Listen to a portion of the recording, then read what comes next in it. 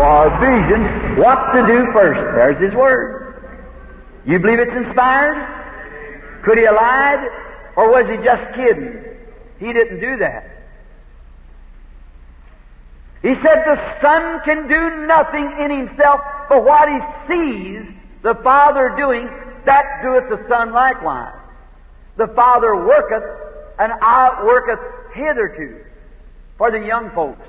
Jesus saw a vision what God wanted him to do, and he just acted it out in drama. You should have been with us at the dinner table today to watch it, the same thing take place. Now, notice, then the scripture says that he spoke these words, a little while and the world will see me no more. That's the unbeliever. Yet ye shall see me, for I'll be with you, even in you, to the end of the world. Now, is that true or isn't it true? Let's just, just talk it out and reason it among us. Is that the truth? I, I as a personal pronoun, I'll be with you, in you, unto the end of the world. A little while in the unbeliever, the church world will be issued in, and they'll see me no more. But the church itself, ye, I'll be with you, in you, to the end of the age, the world. It hasn't come to the end yet. So Christ remains the same. Now, he said, I am the vine. Ye are the branches. Now the vine doesn't bear fruit of itself. It only purges the branches and the branches bears fruit. Do you know that? Well then, if you went to a grapevine, what would you expect to find? Grapes. If you went to a, a watermelon vine, you'd find watermelon. If it's a fertile vine. If you went to a peach tree, you'd find peaches. But then if you, if Christ is the vine, and his members of the church is the branches, what ought you to find in the church? The works that I do shall you also. More than this shall you do, for I go to my Father. What do you find when you go to church? We are the Presbyterian. We are the Baptist. We are the Pentecostal. We got the message. We got this. That's not Christ. Christ is love because He was God. Have, this will all men know you're my disciples when you have love one for the other. But we won't go down to that meeting. Our church is not cooperating. All right. All the Father's given me will come. said Jesus. Now notice. Now let's search the scripture then and find out just what he did back there that the people would know that he was the Messiah. And whatever he did then to prove to the people he was the Messiah, then he's got to do the same now, or he isn't the same yesterday, today, and forever. You believe that? Now, we, I know that we, our churches says different. Oh, because that we uh, have this denomination, we have this charity, those things are fine. But that's not what Christ did, and that's not what He said to do. Not at all. So notice, let's turn back. We're reading in St. John. Let's go back to the first chapter. We're on the 12th. Let's go back to the first chapter and, and find out reason he made this, these quotations the way he did here. All right? St. John, the first chapter. We find out here that after he was baptized and the Holy Spirit was on him, which was God, and he had the Spirit without measure. We have it by measure. Here's the idea. All the water that's out there in the ocean was the Spirit that was in Christ. What's in us is a spoonful out of that ocean. But the same chemicals are in the spoonful that's in the entire ocean. Just not as much of it. He had it, all the waters was in him, and we have a spoonful. His was, he was God made flesh and dwelt among us. He was Emmanuel. But we are adopted children by His grace. Now, after he had received the Holy Ghost in the fullness of the Holy Ghost, where we received the baptism, he received the fullness of the Holy Spirit. Now we find that immediately his ministry begins here in St. John 1. And there was a certain man who got saved. And as quick as he got saved, he went for his brother Simon. And he brought his brother back in the presence of the Lord Jesus. And when Jesus saw him for the first time, he told him what his name was. And told him he was going to change it from Simon to Peter, Cephas. Did he do that? And he told him what his father's name was, Jonas. Said, Thou, your name is Simon. You're the son of Jonas. I remember this is the first thing. And Peter was an ignorant and unlearned man. He never had any education. He could not even sign his own name. The Bible said he was ignorant and unlearned. If education plays such a big part, what about that? And that man was given the keys to the kingdom of heaven. Where have we gone to with all of our schools? I'm not saying we don't have them, but you're putting too much emphasis on your education. That's all right. But that'll never save you. If you don't watch, it'll damn you. Education has been the greatest hindrance that the gospel has ever had. That's right, because people try to outsmart. It's our criminal record When Captain Al Farrar, the head of the FBI of the juvenile, was converted in my meeting, he said, Brother Branham, your statement of that is true. I'll take you right here to every juvenile case that's happened in the past ten years in the United States. It's amongst the educated people. That's right. Ninety percent of it is. They're so smart they figure they can just outfigure the law and things like that. That's why they're getting trouble and they think, well, we got a great church, we're a great name. That isn't it. You've got to be born again. Without it, you're lost completely. No matter how good you are, Cain was as good as Abel. Worshipped the same as Abel. Built a church the same as Abel. Made a sacrifice the same as Abel. And God rejected him because he didn't have the spiritual revelation. What was right? Jesus said upon that same spiritual revelation, He had built His church and the gates of hell couldn't prevail against it. A spiritual reveal by the Holy Spirit.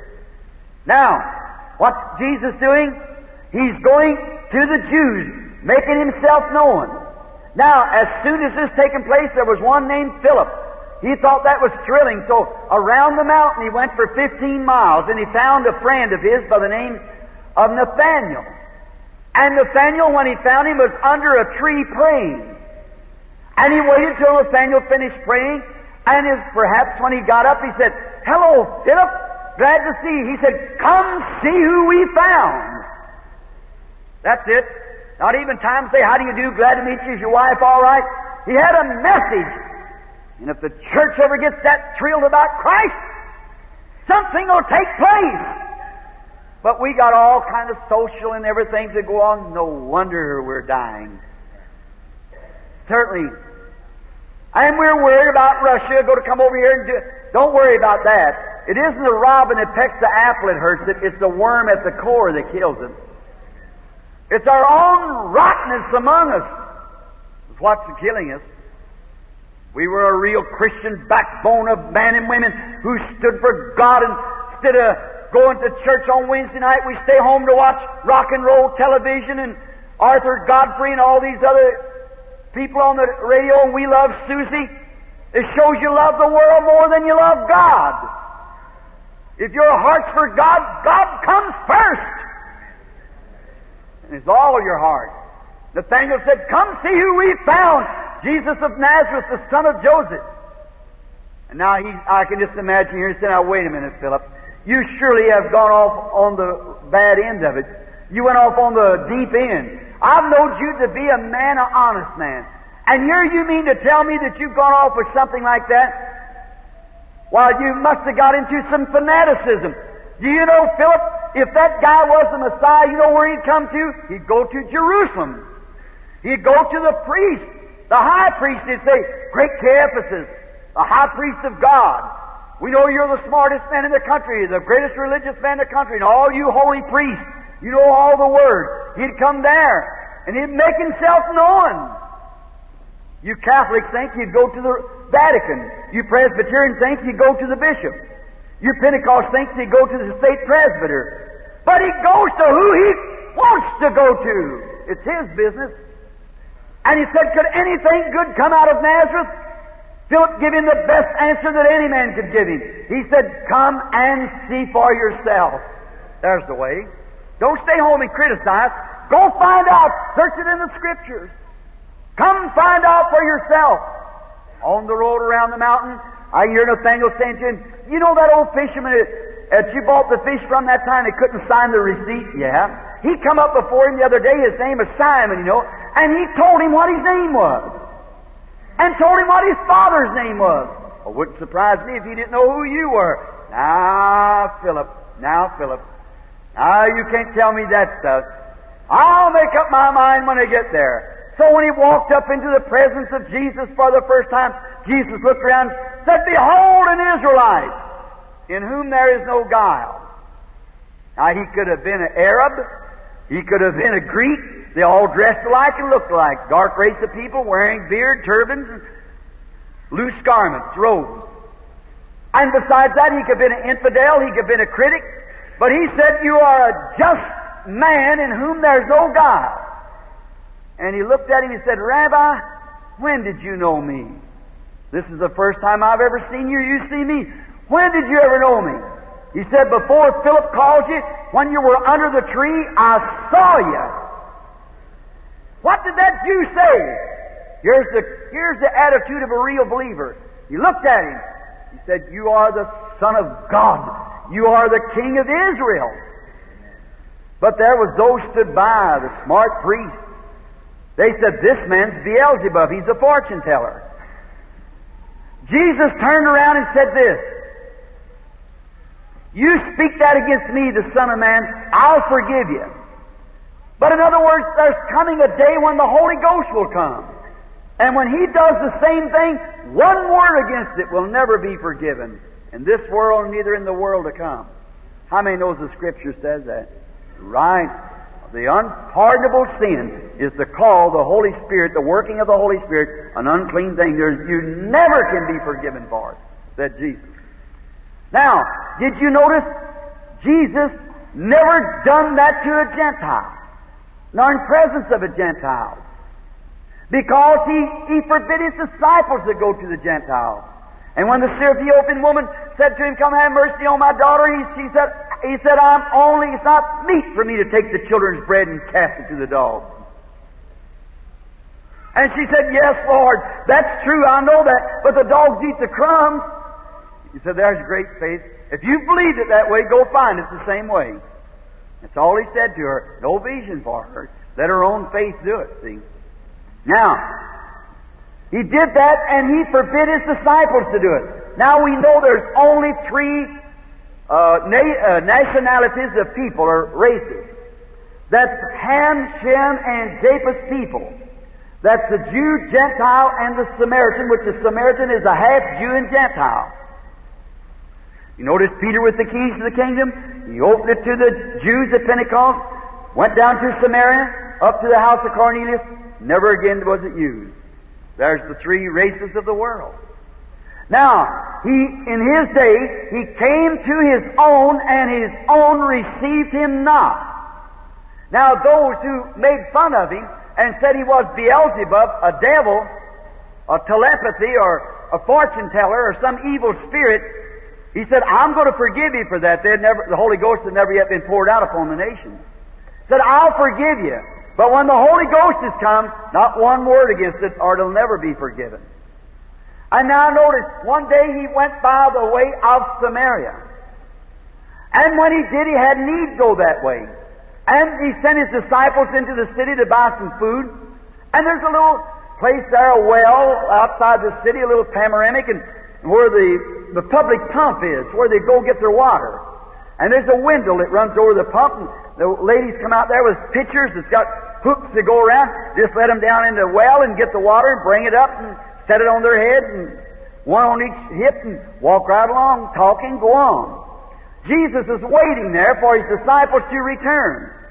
And while he was waiting, let's say she was a pretty woman, real pretty woman, come walking out there. She is a Samaritan.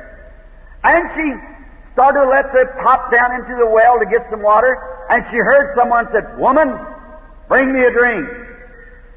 And she looked around, and it was a Jew sitting there. She said, Well, we don't have any dealings with each other. You are a Jew, and I am a Samaritan, a woman of Samaria. In other words, they had segregation, racial differences. But he let her know there's no difference. He said, if you knew who you were talking to, you'd ask me for a drink, and I'd bring you water. You don't come here to draw or give you water. Now listen, that was Jesus yesterday. Now he's at the Samaritan. Jew and Samaritans, which was the outcast, the off breed. And now watch again. And she said, Do you mean that you're greater than our father Jacob? He dug the well. See, they claim God too. He dug the well, his children drink from it, his cattle. And here you say you got water you don't, you say you're greater than he is? And the conversation kept going. What was he doing? Contacting her spirit. See? And when he found what her trouble was, he found her trouble. And he said, Woman, go get your husband and come here. She said, I don't have any husband. He said, That's right. You've had five, and the one you're living with now is not your husband. You told the truth. Now, what did she say? Say, are you a fortune teller? Is that a mental telepathy? You're Beelzebub? No, sir. She know more about God than half the preachers in the United States know. Her being a prostitute.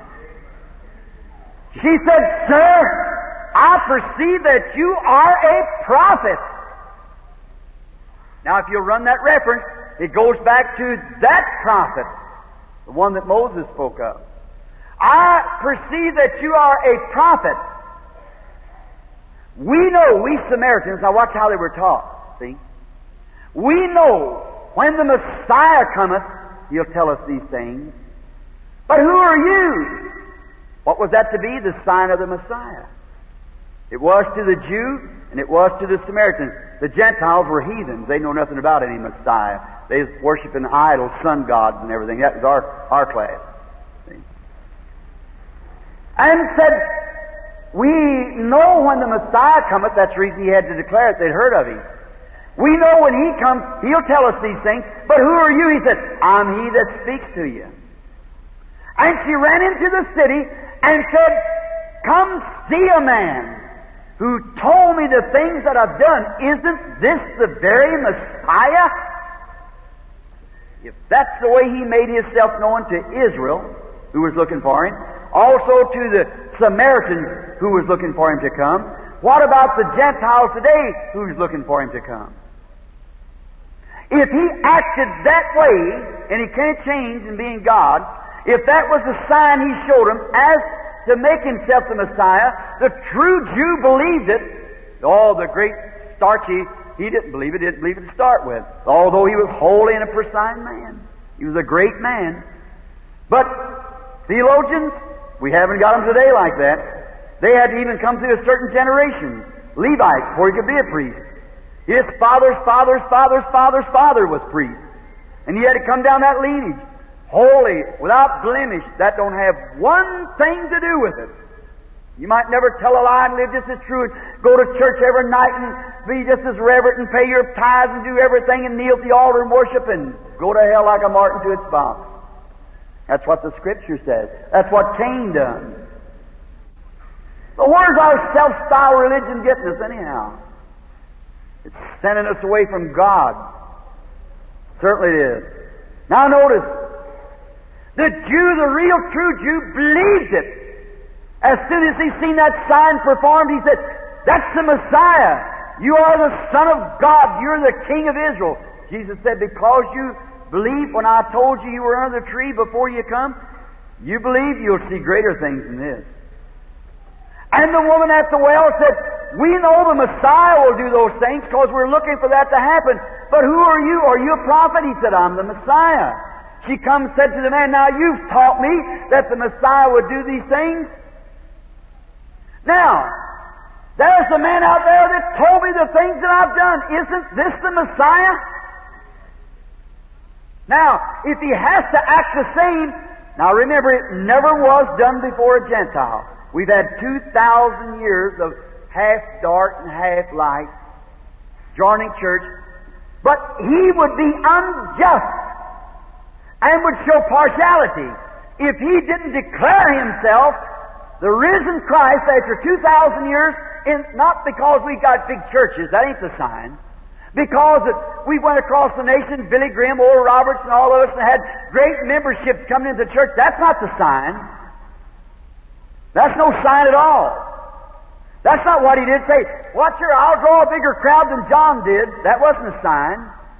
But the sign of the Messiah was what I'm speaking of here, that he did. If he did that before that generation of Jews was cut off and them half-breeds that was looking for him, he's got to do the same thing before this Gentile generation, or he did wrong when he acted back there in that way. If he lets us go in, which was on our theology and things like that, and doesn't declare himself like he did to them before their destruction, and this is the great sign to prove that the time is at hand. That was at hand for the Jews. And every Bible teacher knows that the, the Gentile dispensation is the end and he's to turn again to the Jews. And God's hardened the heart of Hitler, Mussolini, all those dictators in Russia, and run those Jews right back into Palestine where they're supposed to be standing there. I got a picture three minutes before midnight, according to science. And those Jews coming in with packing their loved ones, old crippled on their back.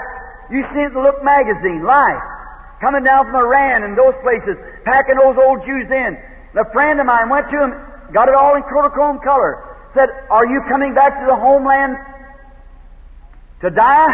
Said, No. We're coming back to see the Messiah. We're not coming back to die. We're coming back to see the Messiah. Jesus said when the fig tree goes to putting forth its buds, this generation, 40 years, shall not cease until all these things be fulfilled. Do you get it? What's happening? The last call for the Gentiles. The nations are ready to be pulverized at any time. And to think of it, before that can happen, the church goes home first. And if we could be pulverized before morning and the judgment, how about the going home of the church? It could come at any minute. Certainly, oh, wake up, people! Shake your spiritual soul within you by reading the Word. We're at the end. The time is at hand. We've had theology, we've had church age, but this is the time. And now, the last sign to the Jews was what? The appearing of the Lord Jesus.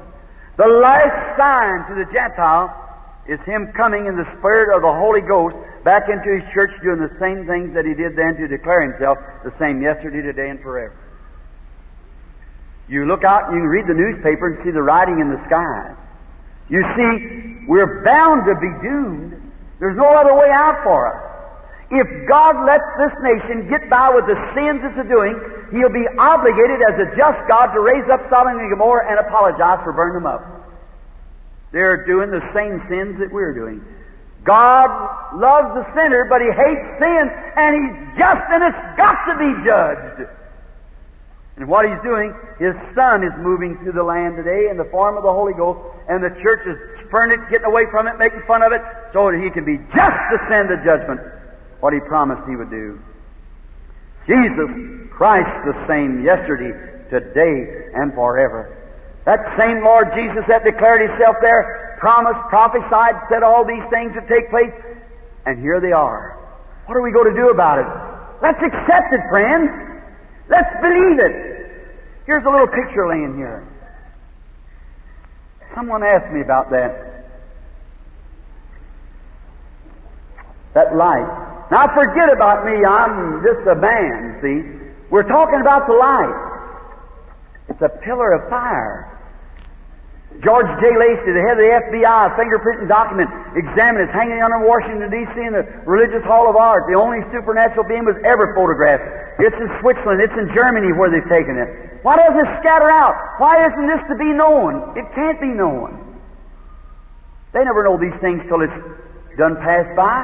He said he had hide it from the eyes of the wise and prudent and be revealed to babes such as would learn. How many knows Jesus said that? Thank God for it. You Catholic people, you never know who St. Patrick was. He wasn't a Catholic to begin with. You know that. But after he was dead a long time, you recognize he was a saint. How about St. Francis of Assisi, a walking preacher with a Bible under his arm? You didn't recognize him then. How about Joan of Arc? The Catholic Church burned her to a stake and her screaming for mercy. You burn her as a witch, a Beelzebub, a spirit-filled woman, saw visions and done signs and wonders, and you burn her as a witch, as a Beelzebub. But about a hundred years later, you realize she was a saint. Of course, you done repentance. You dug up that priest's body and threw it in the river. Now she's canonized a saint. God always sends His mercy, His sign. He goes over the top of the eyes of the wise and prudent and reveals the baby, calls His church and seals it. There it goes. He's just. He's it. He's obligated to His word. Look at many of those Jews down there in that day, Matthew 12. He said, Many of them saw the things he done, yet they could not believe on him because the prophet said, Isaiah, they got eyes and can't see and ears and can't hear. Blinded. The Gentiles are blinded by creeds and, and denominations. Fail to see the mysterious resurrected Jesus moving in His Spirit among His church and doing the things that He's doing right here at the end time. Oh God, open our eyes. Open our eyes is my prayer. One more thing he did before we close. One day he was passing through, he didn't see no vision. He was passing through a little crowd of people, and they were all patting him and shaking his hands and, uh, and so forth. And a little woman said within her heart, I believe him to be a holy man. I believe he's the Son of God. And I, am just a little woman, and she'd had a blood issue during the time of menopause, and for many years she'd had it and they couldn't stop it. The doctors could do nothing about it. And she said, if I can just touch his garment, I believe I'll be made whole. And she touched his garment. Now the Palestinian garment hangs loose. You couldn't touch it. The border, that's the bottom of it, hanging way loose. And she touched the border. of That garment, she's sitting probably below him, and she touched the border. He walked a little bit. He turned, he said, Who's touched me? That was Jesus yesterday. The Bible said He's a high priest tonight that can be touched by the feeling of our infirmities. Is that right? The same yesterday, today, and forever. The woman touched Him. He said, Who touched me? And Peter, being, oh, he felt big because he was kind of one of the head of the apostles, he said, Now rebuke the Lord Jesus and said, Why do you say such a thing as that? Well, who could tell who touched you? Everybody's touching you. Jesus said, But I got weak virtue gone out of me. Oh, that's the touch I hope that you New Haven people touch. I perceive that I've gotten weak. Virtue's gone from me. Everybody kept still. He looked all around over his little group of people standing there, around them fishermen around the river. And he looked out there and he saw the little woman. He was endued with power, could, could tell what was real faith. He said to the woman, told her her condition, and said, Thy faith has saved thee. That was Jesus yesterday. The Bible said He's the same yesterday, today, and forever, and a high priest, Hebrews, the New Testament, that can be touched by the feeling of our infirmities. Then if He is the high priest, yet, if you touched Him, if you in the audience where you are now and say, Oh God, let me touch you, Jesus, I believe you, not excitable, but just touch Him. How would He act? He'd have to act the same way he did then, or he wouldn't be the same Jesus. See? He'd have to speak back, use the lips of his church, and say the same thing, because we are the vine, the branches, he's the vine. He'd have to speak right back and say the same thing he did then, or he isn't the same Jesus. He isn't the same high priest, he's another. But he's alive tonight. Oh, I'm so glad of that, friends. He's alive. And in this day, when we not don't have one thing we can rest upon, you, you're, we're just we're finished. There's only one thing that can stand. That's the kingdom of God. Our nation gone. She's eat to the core with termites. I stood on the have on the places where Pharaoh in Egypt had to dig 20 feet to find their palaces. And in Rome with the Caesars. And all kingdoms give away because there's coming a kingdom that can never give away. That's the kingdom of God. These others, all mortal, gives away to immortality. But the great nation that we have, and yet the Bible says that every nation under the sun is controlled by the devil. Jesus said so. All nations are controlled by the devil. That's why we fight and carry on the way we do. Satan said, They're all mine. He showed them, I'll give them all to you if you worship me. Jesus knew he'd fall heir to them. He said, Get thee behind me, Satan. He knew he was heir to them. As long as we are, we got a marvelous president. I'm not a politician, but I like Mr. Eisenhower. And I think he's a wonderful man. But if we put a Dwight Eisenhower in every county in this United States, she'd still gulp right on in sin. The Bible said she would. There you are, the times here. Friend, not long ago I took a trip up in Finland, right after the first, the Second World War. I seen those Finnish women at nighttime all hooked up in harnesses, dragging a harrow behind them. Man, little children packing lantern. They don't stop for night, just keep on going. The war was ended. They had to plant the wheat. If they didn't get the wheat in, there'd be no crop next year. They'd all starve to death.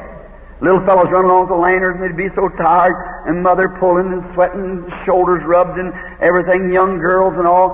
Dad coming behind throwing the wheat like that. Scratch it anyway. Just scratch the surface. Get the wheat in. The snows is coming.